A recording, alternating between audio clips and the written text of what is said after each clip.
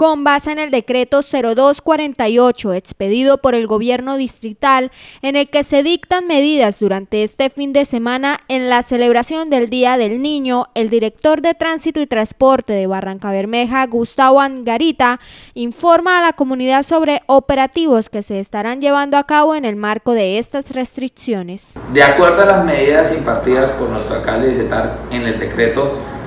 relacionado con todas las medidas de protección para este fin de semana de Halloween o Día de los Niños, vamos a estar haciendo los controles pertinentes eh, en articulación con toda la Secretaría de Gobierno y las autoridades y los organismos correspondientes para hacer cumplir y para poder obviamente administrar las sanciones en caso de que sea necesario.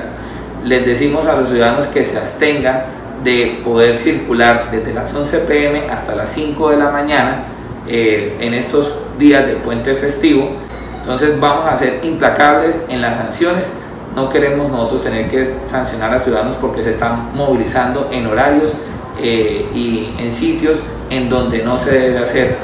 de acuerdo a las medidas impartidas para poder salvar las vidas del distrito de Barranca Estos controles se harán con el fin de hacer cumplir las medidas de restricción en todo el territorio.